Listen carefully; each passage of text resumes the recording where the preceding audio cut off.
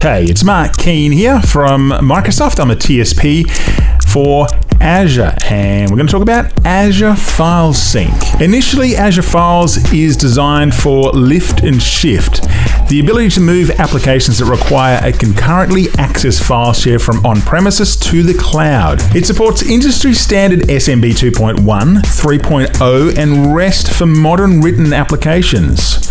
It's secure, encryption at rest as well as in transit. And Sync, the new capability that will go into detail. When we talk to customers, they say even with the move to EFSS, Enterprise File Sync and Share solutions such as OneDrive for Business, they still have a need for file servers. OneDrive provides the best information worker collaboration experience, but there are some unique use cases that cause customers to still use on premises file servers for those specific use cases. Specifically, app compatibility apps that require file server schematics, SMB or NFS, ACLs, long paths, etc. Latency is another one. Cloud based storage doesn't address the need for low latency, fast I.O. to files as well. Customers collaborating on larger files can benefit from file servers.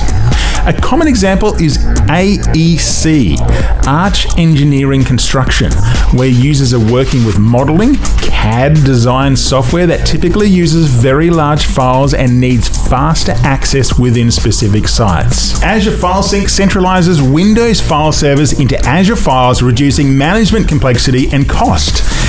Azure File Sync maintains compatibility and performance of existing on premises file servers by turning them into lightweight performance caches for Azure files.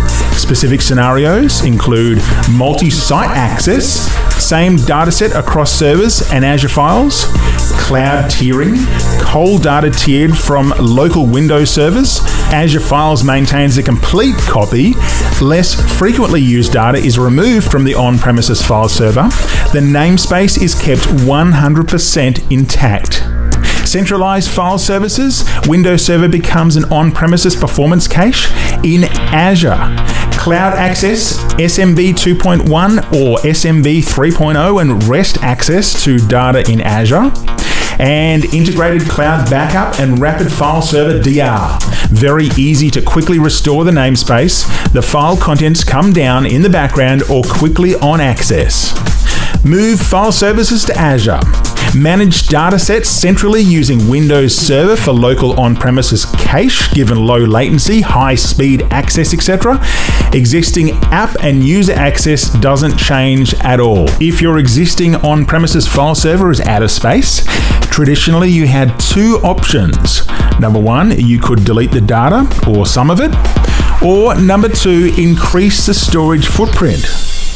Now, with Azure File Sync, you have a third option sync the volume or just a subfolder to its own Azure file share. A server can have as many volumes or folders, each syncing with their own Azure file share. As these two locations are syncing, enable a feature called Cloud Tiering. Cloud tiering allows a server to track access patterns to files and will assure the most frequently accessed files stay cached locally, while the cold data can be displaced from the server, all automatically. The entire namespace, however, stays fully intact, thus allowing any user or application to see each file in the namespace. Any file access is as usual, and the file will be served from local disk or from the Azure file share, cold file. Number two, lose the local branch server. Azure FileSync has a fast disaster recovery solution built in. Put in a new server and connect to a sync group. Could be a totally different storage location than before, a server with no data on it. Rapid Server DR brings back the namespace quickly. Users and applications can start accessing the file server instantly, in most cases faster than a restore from backup. If a user or an application requests to open a file that doesn't exist yet or hasn't cached, that file will be recalled from the cloud with priority.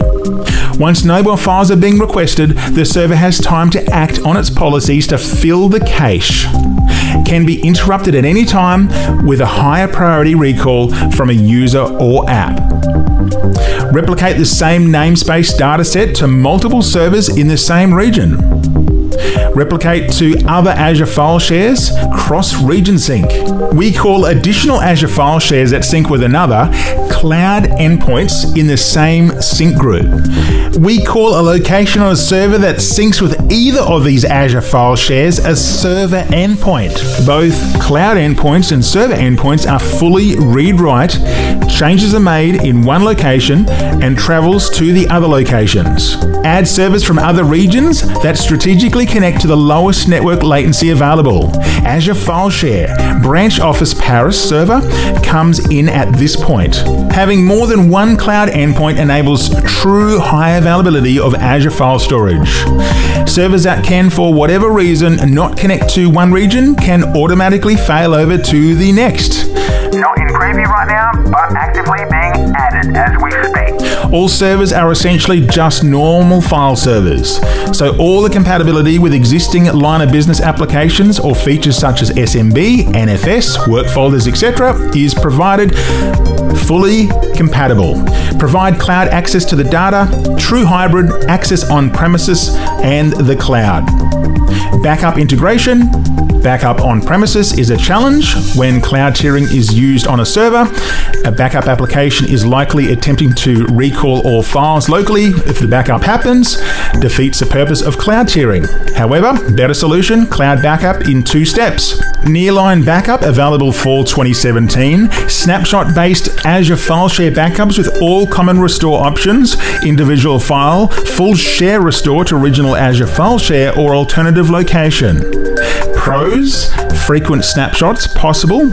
In most cases, more often than on prem, snapshots can be mounted as read only SMB shares, self service restore for users via previous versions. Downsides snapshots reside in production storage, not long term retention place, and it can be risky if accidental deletion of storage account happens. However, backup hardening available in 2018 means the latest snapshot is moved out of the storage account and stored in Azure Backup Recovery Vault for long term retention. Azure File Sync scenarios. Multi site sync. Keep a dataset in sync across multiple locations. Cloud tiering. Turn a server into a lightweight disposable performance cache for Azure files. Direct cloud access. Native file format with SMB and REST access. Integrated cloud backup. Point in time recovery and retention policies without redundant data transfer. Rapid file server DR. Fast namespace sync with no need to wait for data restore. What's new at the time of recording for Azure File Sync? Encryption at rest, SMB encryption for Linux, network ACLs, share snapshots, and data import.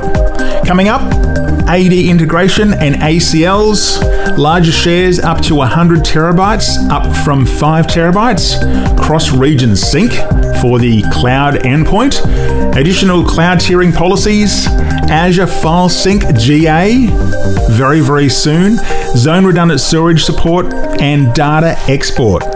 OneDrive for Business is an integral part of Office 365 where end users can store, share, and sync files. Users can update and share work files from any device with OneDrive for Business.